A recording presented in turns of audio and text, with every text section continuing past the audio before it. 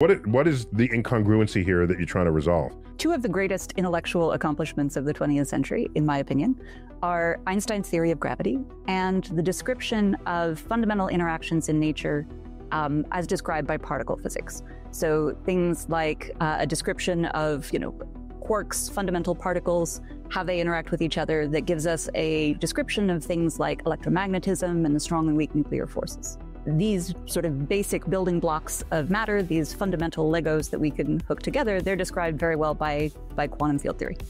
The issue, the, the sort of discrepancy between these two, is that each separately are able to make predictions that are incredibly accurate in our modern world. So we can make predictions to like 13 significant figures using either of these theoretical frameworks. That'd be 13 decimal places. Right. 13 significant figures, yeah. I'm going to okay. say that's pretty accurate. it's pretty great, yeah. And like things like modern GPS wouldn't work without general relativity. So we have a lot of ways of testing these theories. They seem really robust and that they're telling us really important things about how the world behaves.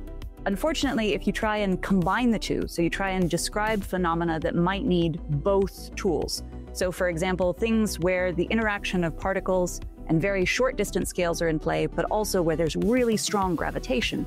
So, for example, inside a black hole, um, that would be a regime where you need both of these, these theories, these frameworks, to agree and give you concrete predictions.